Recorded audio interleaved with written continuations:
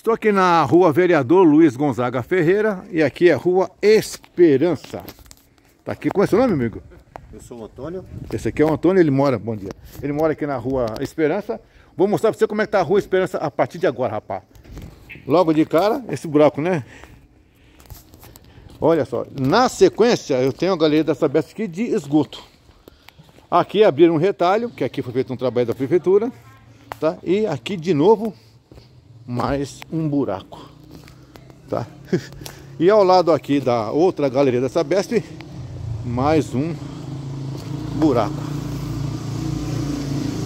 E aqui, entre o número 2 e o 43 da Rua Esperança, olha só o que fizeram aqui, ó. Tá? Na sequência, você vê que a rua, né? Não está muito boa não, tem que fazer um recapeamento aqui, ó. Aqui em frente ao número 47, tá? Olha só. Aí, ó. Aliás, 49. Tá? Em frente aqui ao número 53, mais um detalhe.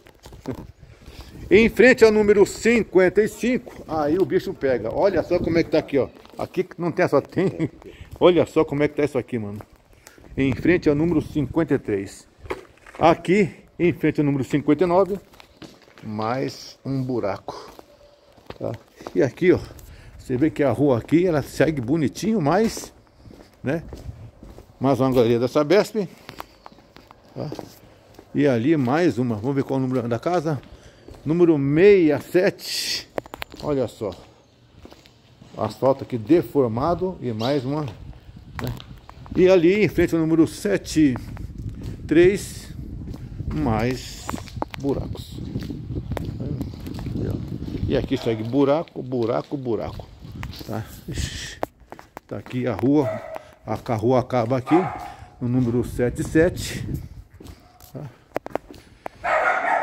Estamos solicitando que a prefeitura faça um recapeamento nessa rua, tanto nessa rua como na rua Fraternidade, não é isso, amigo? É isso sim.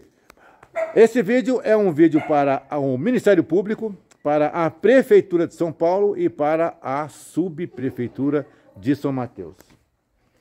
Visão, planejamento, resultados. Dê um like nesse vídeo. Junte-se a nós.